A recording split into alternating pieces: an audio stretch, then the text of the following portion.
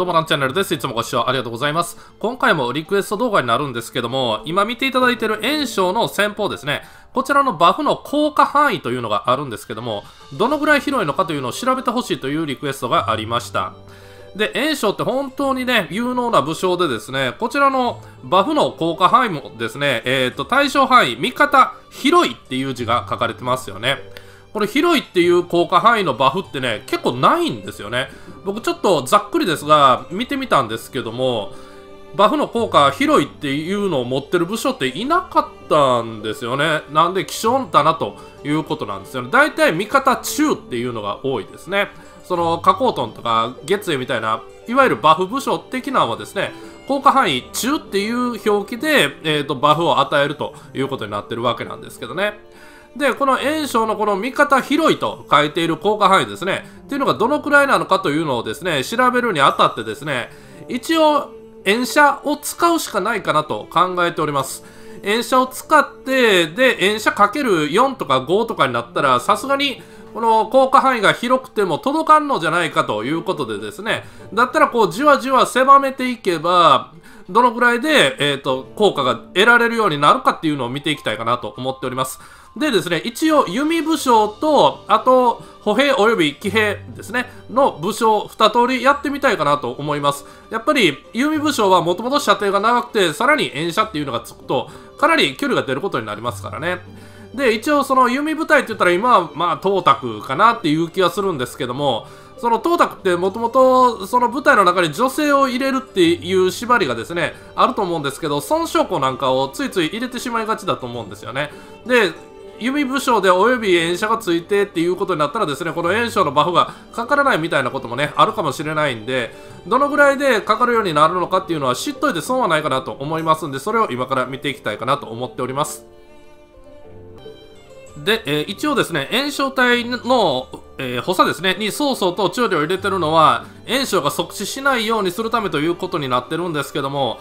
ちょっと申し訳ないんですけどね、演者がね、レベル4にまでしかできないんですよ。っていうのがですね、あと1人演者を持ってるのが加工園ということになってるんですけど、僕、加工園をね、なぜか持ってない状況、多分、交流ポイントに変えてしまったんだと思うんですけどね。なんで、ちょっと炎射4からしか始められないということになってしまうので、もし仮にここで炎射4の状態で、炎症のバフが届くということになったらですね、企画倒れになってしまうんですけどね。じゃあ、その、炎射5だったらどうなるのっていうのがチェックできないということになってしまいますからね。まあちょっとやってみたいかなと思います。はい、炎症が先に到着して、で、えー、大使自体に一応ちょっと変えたんですけども、結構遠いですよね、炎射レベル4って言ったらね。これだけの距離が離れてますけども、しっかりと炎症のバフがかかるのかどうかというところに注目していきたいかなと思います。孫将校の首相にした場合、孫将校が先に先方を打って、で、自身にバフがかかるので、上矢印みたいなのがついちゃうんでね、ちょっと分かりにくいかなと思って変えました。はい、上矢印がつきましたね。これは、炎症のえー、先方バフでついてるのかどうかっていうのを確認するために徹底させてログの方を見ていきたいと思います。はいこちらが大使自体のログとなるんですけども大使自体に対物特攻攻撃速度攻撃防御の変化が発生してますね。つまり炎症の先方がまあ、しっかりと大使自体に効いてるということなんで炎射4ぐらい離れてても十分にバフは届くということがご理解いただけたんじゃないかなと思います。でね、ずっと前なんですけども、炎射つけてたら、あの、対都市の場合ですね、反撃が届かなくて、ノーダメで城を落とせるみたいな動画をですね、作らせていただいたことがあるんですけど、その時にですね、真横から行った場合は反撃食らうけど、なんか斜めから入ったら反撃を食らわないみたいなね、ちょっと、その、向かう、都市に攻撃を当てる位置でね、ちょっと距離が変わるの、距離の概念が変わるのかなみたいなこともあったんですよね。なんで、万が一、この言うたら、そのせいでバフが届かないみたいなことがね、ちょっとした位置の関係であるかもしれないんですけども、現実的な話をいたしますと、この、炎射4にしてる部隊を作って出撃させるなんていうことがあるのかなっていうところなんですよね。多分ないんじゃないかなと思うんですよ。で、炎射3とかもないと思うんですけども、まあ仮に3だったとしたら、どんな方向から攻撃したとしてもですね、まあ4で届くんだから3も届くだろうという推測が成り立ちますんで、炎症のバフをかけるときに関しては、この炎射っていうのはあまり気にしなくてもいいんじゃないかなという結論でいいんじゃないかなと思いますけどね。えそしたら次はですね、その効果中ですね、の武将で見ていきたいかなと思うんですけども、こちら炎症を加工トに変えてみましょうか。えーと、加工トンが、はい、いましたね。で、先方を見るとですね、こんな感じで、えー、効果範囲、味方中となってますよね。この状態で炎射4だったら、バフが届くのかどうかっていうのをですね、確認していきたいと思います。はい、加工トン隊が到着して、で、大使自体はやはりかなり遠い位置から攻撃を放つことになっておりますけども、さあ、届くのかどうかというところですね、効果範囲は中となっておりますが、なんか届きそうな気がせんでもないなっていう気がするんですけどね、どうでしょうかね。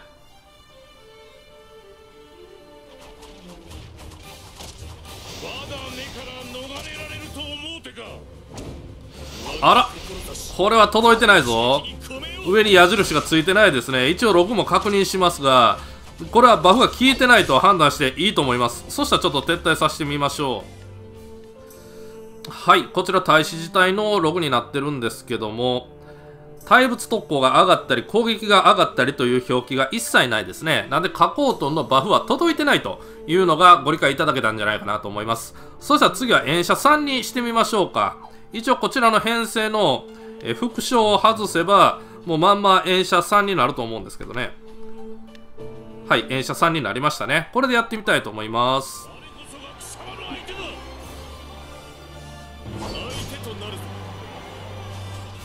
見た感じそんな近づいてるようにも見えないんですけどね、車さんになったぐらいではね。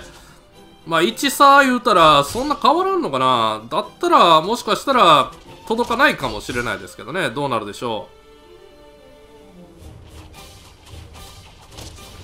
う。はい、先方が発動して、おっと、これも届いてないぞ。これ、演者3はちょっと危ないですね。演者3も、そんな、入る可能性は低いかなと思うんですけどね。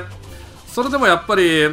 何かの表紙で演者さんにしてしまった時っていうのは、バフが届かない可能性があるというのをご理解いただいた方がいいと思いますね。一応ログも確認します。はい、こちらログになってますけども、やはり、大使自体にですね、バフはかかってないですね。そしたら次、演者2にしたいと思うんですけども、この辺からちょっと危ないですよ。2とかになる可能性出てくるんでね。例えば、この将校と、誰か、まあ、演者付きの武将とですね、まあ、組ましてっていうことは十分考えれますもんね。やってみましょう。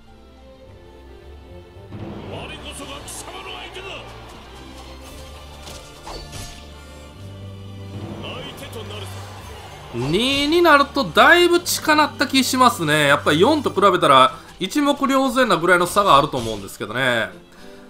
これはかかるでしょう、さすがに。これでかからんとなったら割と狭いぞ。はい、発動して。はい、上矢印つきましたね。なんで、演射2は OK っていうことかな。一応、ロゴは確認しますけどね。はい、こちらが大使隊の6になるんですけども、えー、攻撃変化とタイムス特攻変化が発生してますね。ということで、えー、バフがかかってるということになっております。なんで、弓部隊の演者2の場合はですね、効果範囲中のバフを受け取ることができますけども、演者3の弓部隊に関しては効果範囲、え中のバフを受け取ることができないということがご理解いただけたんじゃないかなと思います。でですね、冒頭に歩兵とか騎兵なんかでもやってみてっていうことをお伝えさせていただいたと思うんですけども、その炎症の効果範囲広い場合のバフっていうのはですね、この弓部隊の炎射4をつけてたとしてもバフが届いてたので、これ歩兵とか騎兵に炎射4がつつけることができたとしても、まあ、絶対にバフがかかるっていうことはわかるじゃないですか。弓の方が遠いですからね、射程がね。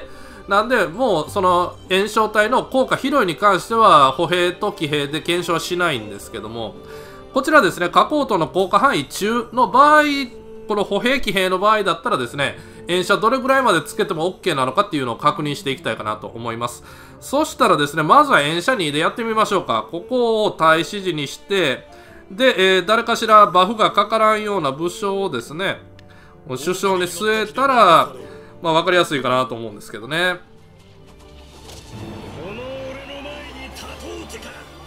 はい一応呂布にしてみました。呂布にしてみたんですけどもかなり近いですね。多少距離があるのはまあこう見ての通りだと思うんですけどもこれだけ近かったらバフはかかると思います。この分だったら遠射4ぐらいでもいけそうな気しますけどね。まあ一応3もやってみてで最終的に4をやってみたいかなと思います。はい上に矢印つきましたね。そしたら撤退させましょう。はいしっかり攻撃変化と大仏投下変化ついてますね。そしたら演者3でやっていきます。はい若干離れましたね。なんか2と3でえらい差が出てるような気がせんでもないんですけども。まあバフがかかればね別にどれだけ離れてても OK かなと思うんですけどね。果たしてかかるのでしょうかというところですね。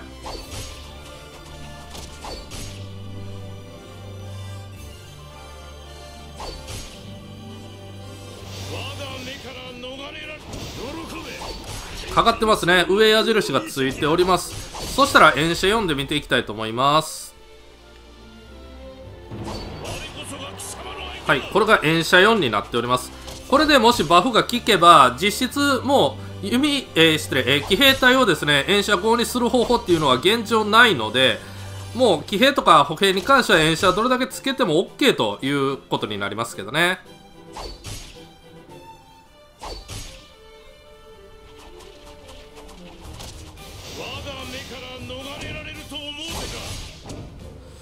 おっと、矢印がつきませんでしたね。ということで、演者は、えー、3が限界っていうことかな。ということで、えー、騎兵とか歩兵に関しては、演者4をつけてしまうと、効果範囲中のバフっていうのが受けれない可能性がありますよということですね。ただ、こちらも一応検証としてやってみただけで、演者4がつく騎兵部隊とか歩兵部隊っていうのを作るっていうこと自体がですね、ちょっと非現実かなという気がしますので、あまり気にする必要はないんじゃないかなと思います。ただ、将来的にですね、え武器ですね、で、演射がつくみたいなね、武器が出る可能性もありますし、陣形なんかが追加されて、その陣形で演射がつくようになるみたいな可能性もですね、なきにしもあらずなので、あまりつけすぎるわけにはいかないということには、まあ、変わりはないんじゃないかなと思いますけどもね。